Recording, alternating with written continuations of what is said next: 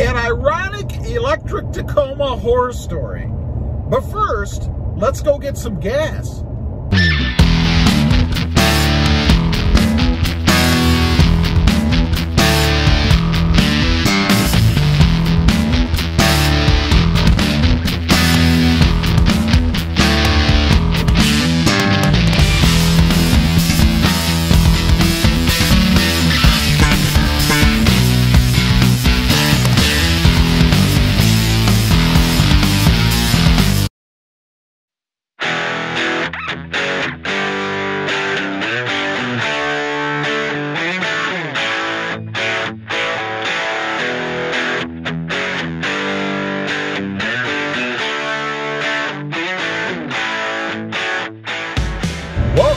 Morning, everybody. How are you today?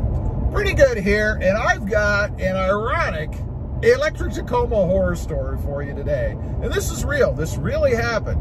But, like I said, we stopped, we got some gas. I was a little concerned that I'd be able to find gas right now, right? You keep seeing these news stories about people flocking to the gas stations, hoarding gas because of what's going on on the East Coast. You know, I'm in South Texas in the RGV, right?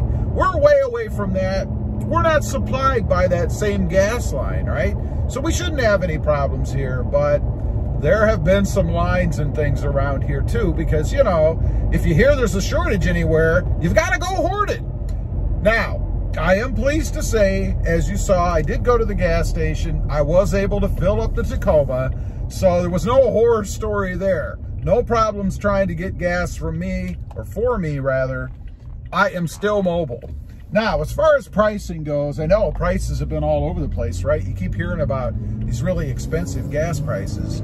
Now, I will say, first of all, gas down here is cheaper anyway. A week ago, last Saturday, my wife told me that she saw gas, it was $2.59 a gallon. Now, that was a week ago. That's a pretty good price, I think.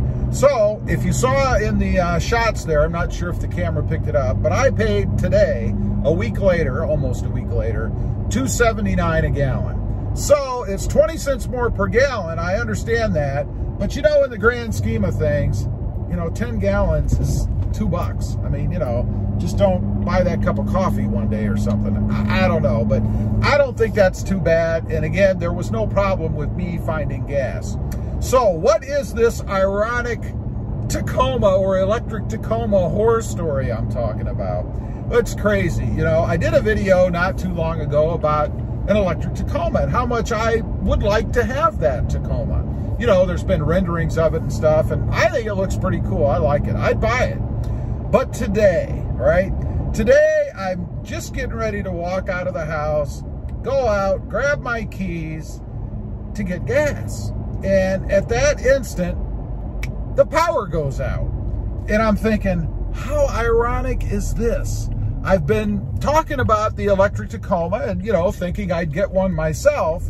And if it needed to be charged, all of a sudden I don't have any electric. And it happens now and then down here. I wouldn't say it's overly frequent, but it does happen that we lose power.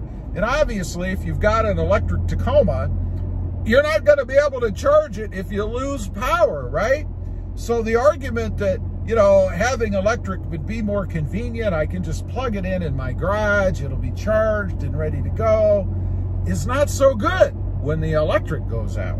And people have talked about, I think one of the biggest arguments for not having an electric Tacoma is the demand, the extra demand that having electric vehicles in all would put on the grid and that they wouldn't be able to keep up, to supply all of the electric needs that we'd have if we all drove electric vehicles like this Tacoma.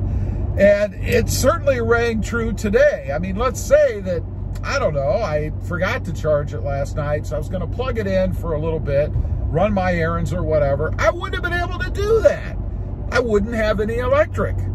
Now, let me add one thing to this, and I was a little concerned about this when I went to get gas this morning, and that is that if the power goes out and there is no electric, you're not going to be able to get gas either, unless the gas station you're going to has a backup generator, because they're not going to have power either.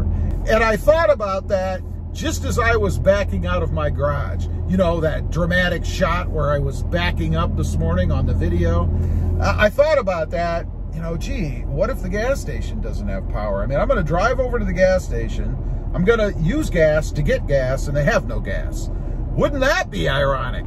So it has been a, uh, a day of irony when it comes to the Toyota Tacoma altogether for me. You know, the thought of going with an electric vehicle, not having any electricity to charge it, going to the gas station to get gas, not being able to fill it up because there's no electric to power the pumps. I mean, what a day, right? And it's amazing how dependent we are, right, on electricity.